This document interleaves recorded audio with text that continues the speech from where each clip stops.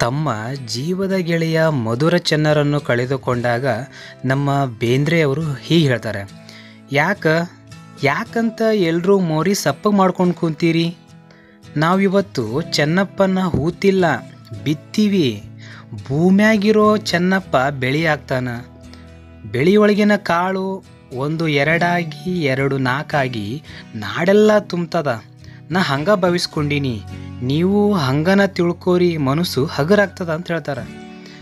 So ಅದೇ ರೀತಿ ಮಧುರ ಚೆನ್ನರು ಹತ್ತೊಂಬತ್ತು ನೂರ ಐವತ್ತ್ಮೂರಲ್ಲಿ ತಮ್ಮ ಐವತ್ತನೇ ವಯಸ್ಸಿನಲ್ಲಿಯೇ ತೀರಿ ಹೋದದ್ದು ಕನ್ನಡ ಸಾಹಿತ್ಯದ ದುರಂತವೇ ಸರಿ.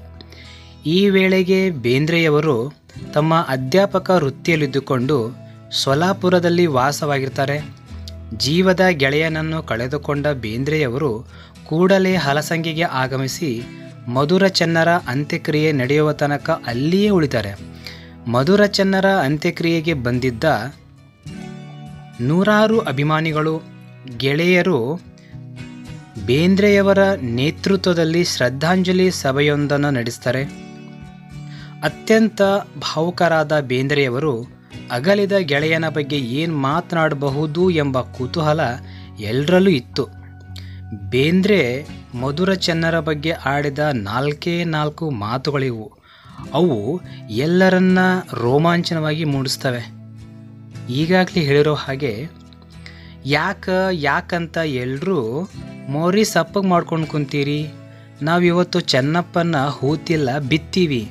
ಭೂಮಿಯಾಗಿರೋ ಚೆನ್ನಪ್ಪ ಬೆಳಿ ಆಗ್ತಾನ ಬೆಳೆಯೊಳಗಿನ ಕಾಳು ಒಂದು ಎರಡಾಗಿ, ಎರಡು ನಾಲ್ಕಾಗಿ, ನಾಡೆಲ್ಲ ತುಂಬ್ತದ. ನಾ ಹಂಗ ಭಾವಿಸ್ಕೊಂಡಿನಿ, ನೀವು ಹಂಗ ಭಾವಿಸ್ಕೊಳ್ರಿ. ಅಂದ್ರೆ ಮನಸ್ಸು ಹಗುರಾಕೈತಿ ಅಂತ ಹೇಳ್ತಾರೆ.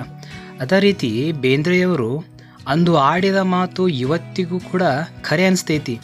ಹತ್ತೊಂಬತ್ತು ನೂರ ನಲವತ್ತ್ ಮೂರು ನಲವತ್ತ್ನಾಲ್ಕರಲ್ಲಿ ಮಧುರಚನ್ನ ಹಾಗೂ ಗೆಳೆಯರು ಚಡಚಣ ಹಲಸಂಗಿ, ಅಥರ್ಗ, ಸಾಲೋಟಿಗಿ ಮುಂತಾದ ಗ್ರಾಮಗಳಲ್ಲಿ ಇಂದೂ ಕೂಡ ಕಾರ್ಯನಿರ್ವಹಿಸುತ್ತಾ ಹಲಸಂಗಿ ಗೆಳೆಯರ ನೆನಪನ್ನು ಜೀವಂತವಾಗಿಸಿವೆ. ಸೊ, ಎರಡು ಸಾವಿರದ ಒಂಬತ್ತರಲ್ಲಿ ಕೆಂಡ ಸಂಪಿಗೆಯಲ್ಲಿ ಪ್ರಕಟವಾಗಿದ್ದ ಲೇಖನದ ಆಯ್ಕೆಯ ಬರಹ.